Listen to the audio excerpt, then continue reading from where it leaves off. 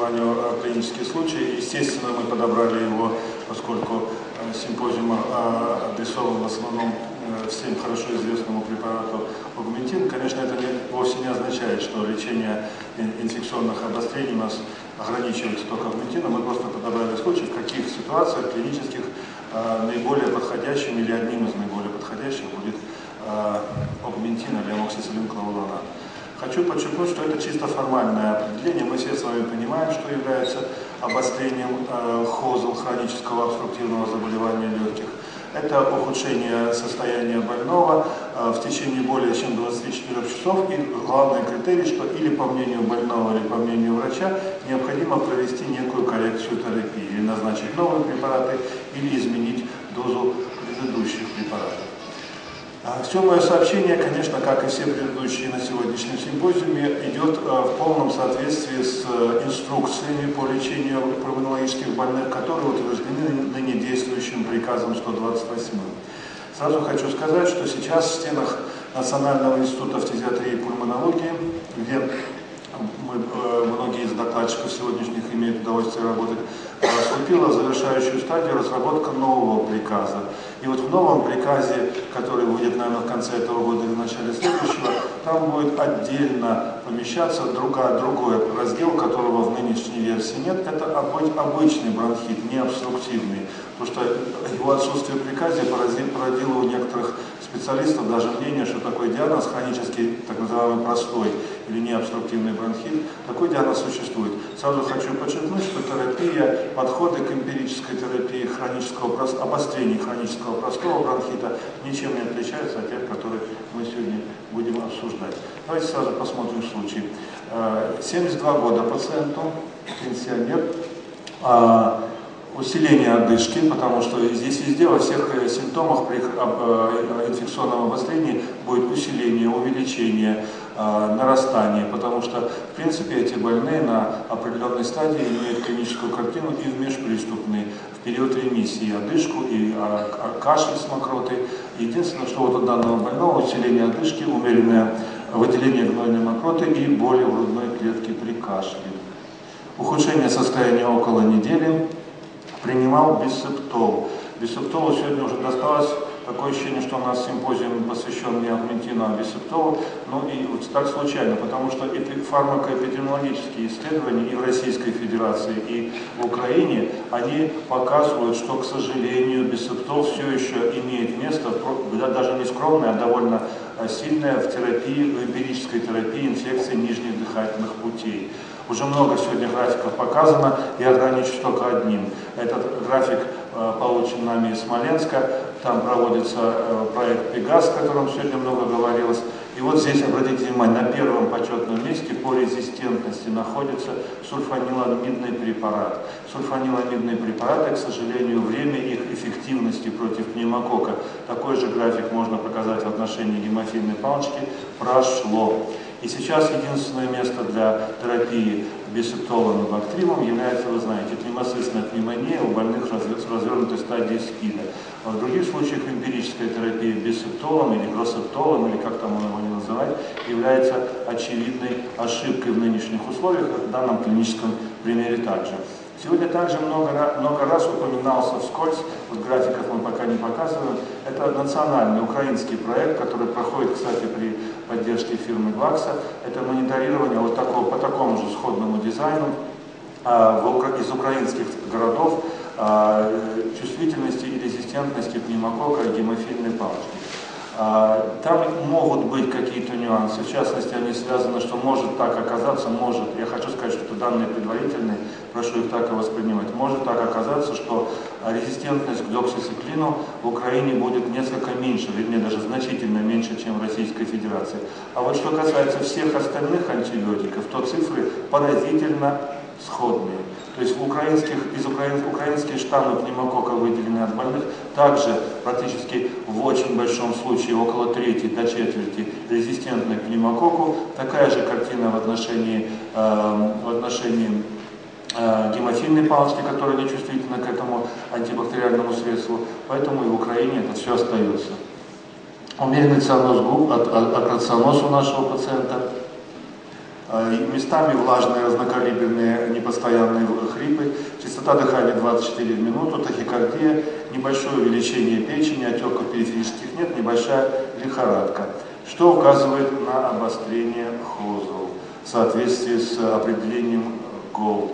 ГОЛД – это международный, э, такой сказать, руководящий документ, который специалисты в области хронических обструктивного заболевания легких вносят все доказанные положения. Ну и ответ такой, усиление кашля, увеличение продукции мокроты, усиление гнойности мокроты, усиление одышки. Хочу еще раз обратить внимание, что когда мы характеризуем обострение э, хозл, то мы всегда употребляем вот эти слова усиление, увеличение и так далее. А, в отношении задержки от начала лечения. Если у нас есть клинические признаки обострения бронхита, обострения хронического обструктивного заболевания легких или обострения хронического бронхита, то мы должны инициировать лечение как можно раньше. Это, в общем-то, очевидная истина. В данном случае я позволил себе привести исследование, которое указывает на эм, э, время Эм, задержки с началом лечения и потом время последующим исчезновения симптомов. Чем позже начинается лечение от, от начала появления симптомов, тем дольше длится обострение, указывает нам это исследование. Посмотрите, пожалуйста, эти вот утверждения, которые здесь написаны, чтобы освежить память.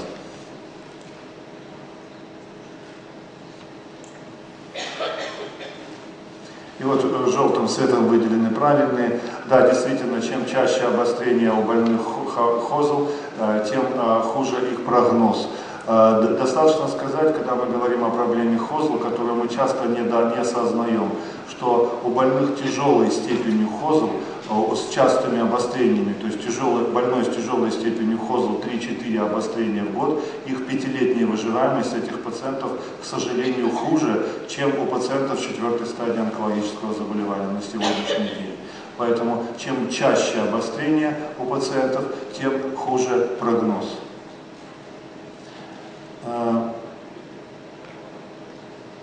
Э, обострения. Мы все время говорим, в отношении, поскольку мы сегодня обсуждаем антибиотикотерапию, об инфекционных обострениях ХОЗЛ.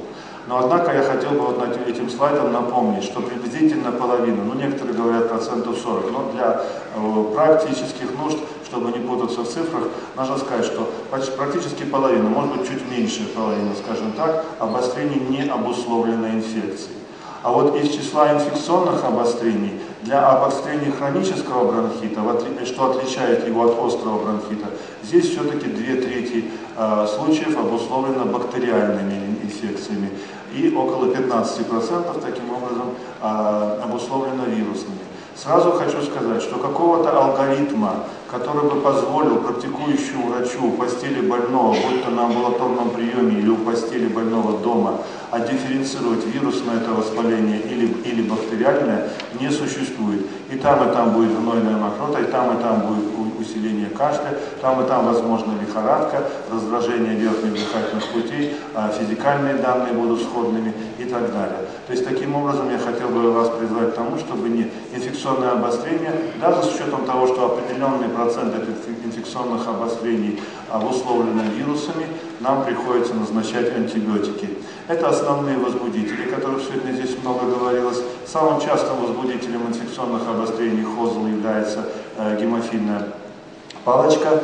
Второе и третье места, по данным разных исследований, они э, чередуются, хотя и, и тот, и другой возбудитель, и пневмокок, и мараксела имеют все-таки меньшее значение, являются, но вот это основные возбудители, которые, э, так сказать, главенствуют и на которые мы должны нацеливать нашу терапию, организовывая эмпирическую терапию. Э, обратите внимание, что э, здесь даже дело не в абсолютных цифрах, вот продуцированность бета-лактамазы, Э, возможность гемофильной палочки продуцировать бета-лактамазы, а в тенденции. Обратите внимание, что в данном исследовании из года в год э, количество штаммов, в процентном отношении штаммов, вырабатывающих бета-лактамазу, их количество увеличивается. В разных регионах это выглядит по-разному. Существуют регионы, где цифры по меньшей мере в два раза больше, существуют регионы, где цифры и в несколько раз меньше. А вот моноксела катаралис, э, это практически можно говорить о том, что если мы имеем дело с монокселой катаралис как возбудителем инфекции, э, той или иной инфекции, в частности дыхательных путей, то мы имеем штамм, продуцирующий бета-лактамазы. В некоторых исследованиях даже до 100%.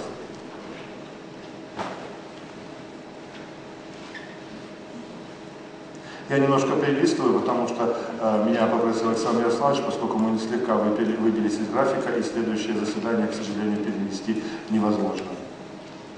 Э, препараты первой линии для лечения обострений ХОСа, для лечения обострений ХОСа. Какие здесь из этих представленных вы можете говорить?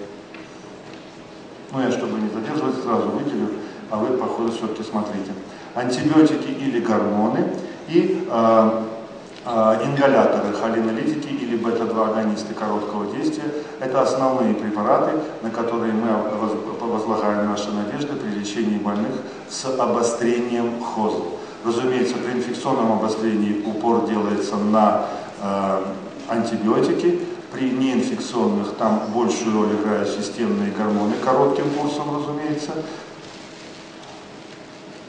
А вот давайте посмотрим, а как отделить а, ведь не все же больные с, инфекцион... с обострением, извините, ХОЗЛ требуют антибиотикотерапии. Как выделить из этого количества больных, больной с обострением ХОЗЛ, пул больных, которые выиграют от назначения антибиотиков?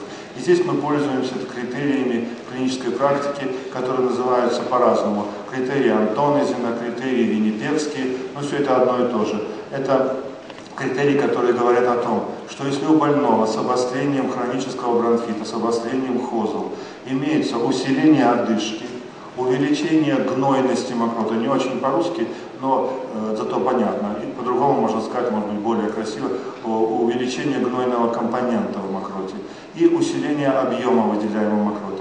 Так вот, если у пациента есть все три этих признака, то назначение антибиотиков будет уместно. Пациент выиграет от антибиотиков. Там работают все показатели, и число дней симптомов, и дни трудопотери, и дни, а, и последующая госпитализация, и смертность и так далее. То есть все показатели срабатывают именно для этих больных, которые соответствуют критериям Антонизера. Те больные, которые не соответствуют, они лежат в той сфере, которая не связана с инфекциями. Там могут быть гетерогенные факторы, факторы окружающей среды, другие сопутствующие заболевания, которые не являются, по сути, хроническим обструктивным бронхитом, а сердечная недостаточность, нарастание э, э, тромбоэмболии мелких ветвей и так далее. Там достаточно большой перечень. Впрочем, нужно помнить, что если критерии Антонизона, еще раз повторю, усиление одышки, усиление гнойности мокроты, увеличение отделяем, количества отделяемой мокроты не срабатывают, их нет, то нужно искать другую причину обострения. Если эти критерии наличествуют, назначение антибиотиков показано, и у нетяжелых больных, наверное, является и достаточным. Назначение антибиотиков у этой категории больных приводит к улучшению результатов лечения. А вот э, то самое исследование Антонизона, которое мы, когда говорим об антибиотикотерапии э, хронического бронхита, всегда показываем, поскольку оно уже заняло место классического исследования. Вот посмотрите, первые два столбца – это разница в клиническом эффекте между плацебо и антибиотиком у больных, у которых есть все три признака, то есть усиление одышки, усиление гнойности мокроты, и э, теперь э, я хотел вам подсказать, э, напомнить, вернее, извините, в соответствии с нашими руководящими документами, в том числе инструкции по лечению ХАОЗЛ, э, какие, э, какой э, группе пациентов какие антибиотики показаны. И вот здесь из этой таблицы немножечко Э, верхняя таблица а, не очень ярко, но я прочитаю. Если пациент относительно небольшого, не молодого возраста, ну для больных ХОЗ это меньше 65 лет, все еще сохраненные функции внешнего дыхания, то есть объем форсированного выдоха больше 50%, с редкими обострениями, отсутствиями серьезных сопутствующих заболеваний.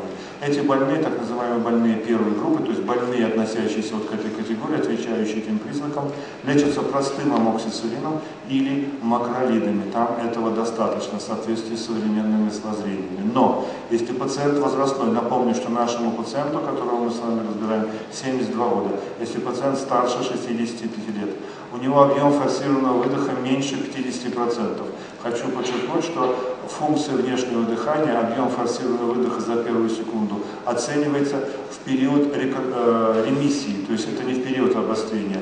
Да и то, хочу подчеркнуть это для э, то, потому что такие ошибки часто делаются после применения бронхолитиков, то есть это постдилатационная проба. И вот она у нашего пациента была 44%, а здесь, видите, если объем и такая проба меньше 50%, то она относится уже вот к этой группе больных. И здесь э, выделено защищенные аминопенициллины, но сразу хочу сказать, что здесь же и цефалоспорины параральные, и э, вторхинолоны. В отношении респираторных вторхинолонов или обычных классических вторхинолонов здесь можно продискутировать в зависимости от клинической ситуации, но в принципе применение и тех, и других не будет серьезным, серьез, серьезной погрешностью. А, иногда даже спорят, а что лучше из этих препаратов есть. Я бы не стал участвовать в таких спорах. Почему? Потому что хочу обратить ваше внимание вот на эту абзац. 4 и более обострений в год. То есть эти больные чаще всего переносят за сезон, зимний сезон, конечно, обострение случается чаще всего зимний период, несколько обострений. И вот здесь вступает в силу а, правило, которое последние годы приобретает популярность и все больше и больше поборников, которое звучит так, внутренняя ротация.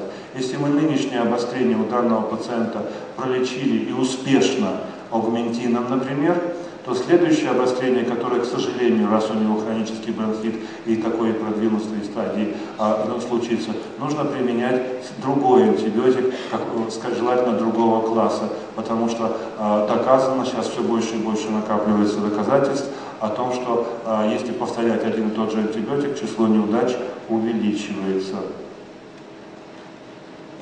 И э, все-таки вернемся к агментину. Агментин, э, его имеет несколько преимуществ, которые просто нужно помнить, работая с этим препаратом. А, он э, приводит к радикации возбудителя, не только к подавлению клинической картины, но к радикации, к удалению возбудителя, вызвавшего обострение из бронхиального дерева. А это уже многократно доказано с этим антибиотиком и с другим. Эрадикация возбудителя приводит к удлинению безрецидивного периода. А помните, на одном из Э, предыдущих слайдов мы с вами говорили о том, что чем реже обострение, тем лучше прогноз. Причем прогноз серьезный в отношении выживаемости у этих больных. И последний нюанс, который э, мы сейчас сталкиваемся. Вы знаете, что у нас в аптеках для наших пациентов предлагается два сорта аугментина. Один 625, э, 600 э, малые дозы, э, которые следует принимать три раза в день при инфекциях и а, а, амоксициллин кулонат, агментин тысячный, 1000 миллиграмм, который следует принимать два раза в день. Так вот, хочу подчеркнуть, что большинство исследований, есть нюансы, но большинство исследований показывает, что обе эти формы, обе эти формы по клинической эффективности сходны, то есть раз, статистически разницы показать не удалось, а выигрышным для Э, двухразового применения, то есть большой дозы по 1000 мг, является существенное, статистически значимое снижение числа побочных эффектов и особенно такого неприятного, как диарейный, диарейный синдром, который, к сожалению, как и при всех антибиотиков, в том числе при применении арментина, случается. И вот за счет двукратного применения и более низкого суточного потребления колуановой кислоты и несколько большей дозы амоксициллина, и вот такая, такая более современная, более подходящая, как оказалось, комбинация с точки зрения переносимости, она приводит к уменьшению а, побочных эффектов. И последний вопрос, который связан, это длительность лечения. Длительность лечения. Сейчас в мире наблюдается тенденция. Александр Ярославович в вступительном слове говорил, что бережное отношение к антибиотикам. Одним, одним из проявлений такой тенденции является склонность к более коротким курсам. И сейчас уже понятно, что курсы лечения инфекционных обострений хронического бронхита должны быть на 2-3 дня в среднем. Людмила Владимировна говорила, что не существует стандартного курса он всегда индивидуален для данного больного. Так вот, курс лечения инфекционного обострения на 2-3 дня короче. Сейчас речь идет о 5, 6, 7 дневном курсе. И вот на данном исследовании э, проводилось исследование, которое показало, что 5-дневный курс назначения аугментина а, по клинической эффективности не уступает 7-дневному, и как и было в предыдущем, предыдущем тезисе, который я озвучил, а побочные эффекты, разумеется, что мы понимаем, а, при применении более короткого курса они в меньшей степени выражены. Еще раз хочу повторить, что сегодня было уже сказано, что основой для завершения курса антибиотикотерапии является клиническая стабилизация и уход инфекций, но принципе мы должны стремиться к более коротким курсам, это сейчас выглядит современно. Конечно, здесь важно не перестараться, потому что если мы не добьемся эрадикации, то безрецидивный период пострадает. Но вот считается, что от 5 до 7 дней лечение аугментином для инфекционного обострения хронического бронхита, хронического бронхита в тех случаях, когда действительно аугментин показан, я их упомянул, это достаточно. Благодарю вас за внимание.